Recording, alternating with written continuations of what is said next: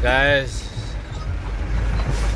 Kita sudah sampai di Dadap Jalan Prancis eh. Inilah kondisi jalan Prancis Hancur. Hancur, hancur lebur dah. Tapi lagi dalam kondisi perbaikan sih. Hmm, Tapi nggak tahu dah mungkin sebulan dua bulan insya Allah sih man. Kedarannya nggak tahu hancur lagi apa enggak kayaknya enggak sih. Soalnya dipakai besi beton yang gede. Hampir satu jempol lebih gede lagi yang buat rangkanya di dalam cor-coran itu.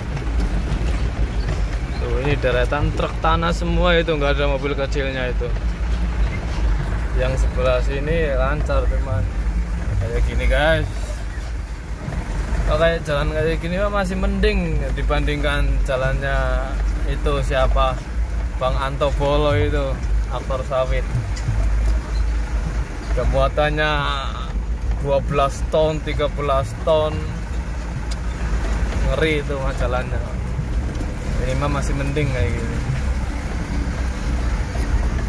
Ini kurang lebih satu kilo sampai di gudang pergudangan Kosambi Permai sampai di pool